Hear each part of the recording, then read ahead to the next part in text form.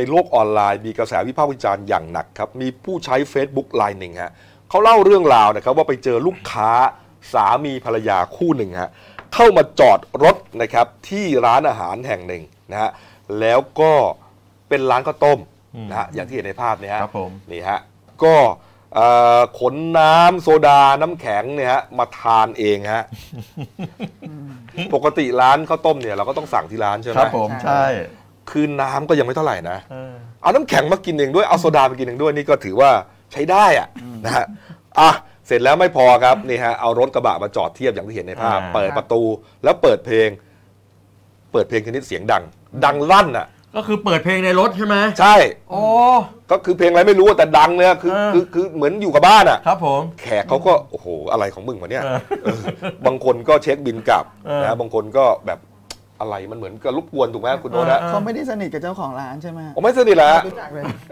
ก็เจ้าของร้านครับคุณบุญทิตาบูรณัทนะครับอายุ 32 ปีครับเจ้าของร้านที่เห็นในภาพเมื่อสักครู่เนี่ยนะครับเป็นร้านข้าวต้มโตรุ่งอืมตั้งอยู่ในอำเภอสามพรานนครปฐมฮะอ่าก็เปิดเผยบอกว่าทุ่มหนึ่งของวันอาทิตย์ที่ผ่านมาเนี่ยลูกค้าสามีภรรยามานั่ง ตอนมานั่งนี่เมากันมาเลยนะ อ๋อเมามาแล้ว เมามาแล้วเมามาแล้วมาถึงก็นึกว่ากลับบ้านไงเออครับ ก็ตามโซดาซื้อมาวางเรียงเต็มเอามาโต๊ะกิเลนยต่อมากินกินต่อต่อ เลยเปิดเพลงเสียงดังเลยฮะ เออ พนักงานเข้าไปเตือนขอให้เบาลงหน่อยอืมนะครับอ่าเนื่องจากว่ารบกวนลูกค้าโต๊ะอื่นเนี่ยอืมเพราะว่าบางโต๊ะเนี่ยเช็คบินหนีเลย ครับทั้งคู่ไม่พอใจฮะอืม เรียกพนักงานมาคุยทีละคนเลยนี่แล้วพูดไงวะเดี๋ยวกูจะแฉให้หมดเลยร้านมึงไม่มีอะไรดีบ้างเนี่ย เออ เออบรรยากาศก็ไม่ดีอาหารก็งั้นงั้นๆรู้ไหม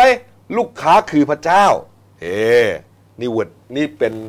topic เขาเลยนั่นก็ไปกินบนสวรรค์ดีฮะเนี่ยแล้วก็ยังด่ากราดด้วยถ้อยคำหยาบคายไม่หยุดนะแล้วก็โอ้โหกล่าวหาว่าทางร้านจะโกงค่าอาหารด้วยก็ดันนะเจ้าของร้านดันไปกดบิลตอนเช็คบิลเนี่ยอืมกดผิดอาหารพอดีแล้วมันแพงกว่า 20 บาท โอ้เป็นเรื่องเลยนะฮะครับโอ้ยจะโกงอาหารจะโกงจะโกงผมเหรออะไรประมาณเนี้ยนะสุดท้ายตกลงกันไม่ได้